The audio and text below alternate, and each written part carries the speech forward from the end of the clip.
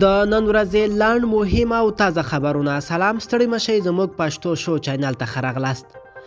پاکستان بیا ځلې د ترهګرو مالی ملاتړ له امله په خړ لیست کې پاتې شو پاکستان یو ځل بیا د ترهګرو د مالی سرچینو او غیر قانوني پیسو د لیږد پر سر د نړیوالې څارونکې ادارې په خړ نوملړ کې پاتې شو دغه ادارې د خپلې څلور ورځني عمومي غونډې په پای کې پریکړه کړې چې پاکستان دې بیا هم په خړ نوملړ کې وساتل شي. د یادې ادارې مشر مارک سپیلز ویلي چې دې هېواد په ورکړل شوي اوویشت سپارښتنو کې ټولې نه دي پوره کړې.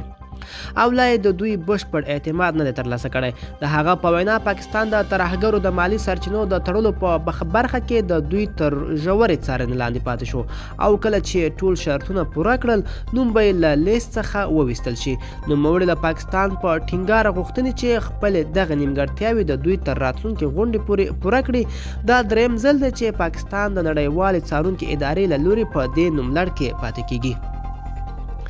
د پاکستان اعتراف قریشي وایي افغانستان کې نور د طالبانو ملاتړ نه کوو پاکستان په سیمه کې د سولهییز افغانستان غوښتونکی دی او نه غواړي چې یاد هیواد کې د یو ځل بیا جګړې زور واخلي د ولسمشر محمد اشرف غني ځانګړی استاد محمد عمر داوودزی تېره ورځ پاکستان ته تللی او هلته یې د پاکستان د بهرنیو چارو د وزیر په شمول له یو شمېر چارواکو سره لیدلي دي نوموړي پر خپله فیسبوک پاڼه لیکلي چې د پاکستان له چارواکو سره یې پر افغان سوله د دوحې د خبرو پر چټکتیا دوه اړخیزې اړیکو او نورو مسایلو خبرې کړې دي بل طرف ته بیا د پاکستان ډان ورځپاڼې لیکلي چې د پاکستان د بهرنیو چارو وزیر شاه محمود قریشي په دې لیدنه کې ویلي چې پاکستان به په سیمه کې د یو باثبات افغانستان غوښتونکی دی او نه غواړي نور په دغه هیواد کې د جګړو مارو ډلو ملاتړ وکړي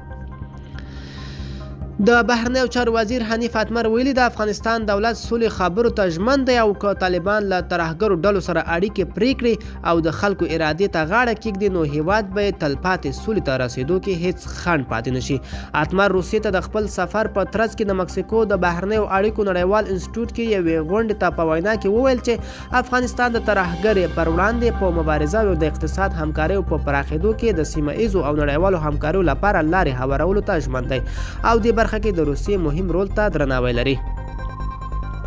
د آلمان دفاع وزیره په ناڅاپي سفر افغانستان ته راغلې د آلمان د دفاع وزیره نن سهار بلخ ته رسیدلې څو له آلماني ځواکونو سره وویني او اغلې کارونبار داسې مهال افغانستان ته راغلې چې د دې هیواد کابینې د تیر چهارشنبې په ورځ په افغانستان کې د خپل ځواکونو ماموریت تر 2022 کال د جنوري تر پایه پورې تمدید کړ